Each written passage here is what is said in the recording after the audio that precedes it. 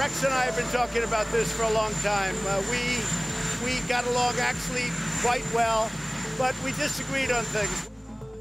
Donald Trump fyrer sin udenrigsminister. Efter flere måneders uenigheder er Rex Tillerson ude af regeringen.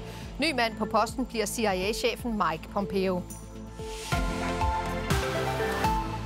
God aften. USA's udenrigsminister hedder ikke længere Rex Tillerson. Det er den første deciderede ministerfyring i Donald Trumps regeringstid, og den kommer efter måneders uenighed mellem Trump og Tillerson, særligt om Nordkorea. I actually got along well with Rex, but really it was a different mindset. It was a different thinking. Fyringen af Rex Tillerson kommer kort tid efter Donald Trump har sagt ja til at mødes med Nordkoreas leder Kim Jong-un.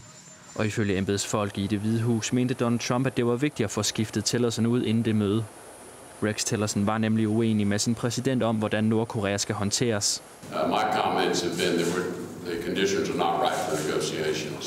I made the North Korea decision with consultation from many people, but I made that decision by myself.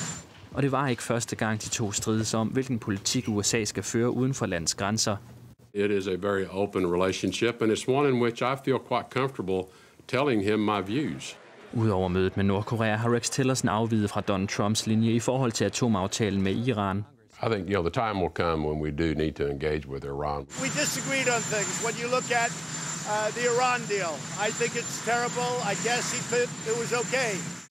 Men også når det kom til Paris-aftalen om at reducere de medvirkende landes CO2-udledning, The United States will withdraw. Og forhold til Rusland var de to uenige.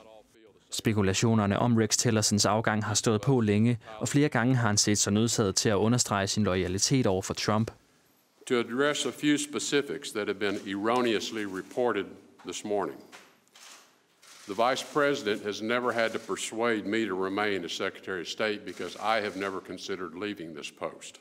Her til eftermiddag gik den ikke længere for Tillerson, da han modtog sin fyring fra Trump via det sociale medie Twitter. Og nu tager CIA-direktør Mike Pompeo så over. Donald Trump undlod dog ikke at takke sin nu tidligere udenrigsminister. As far as Rex Tillerson is concerned, I very much appreciate his commitment and his service, and I wish him well.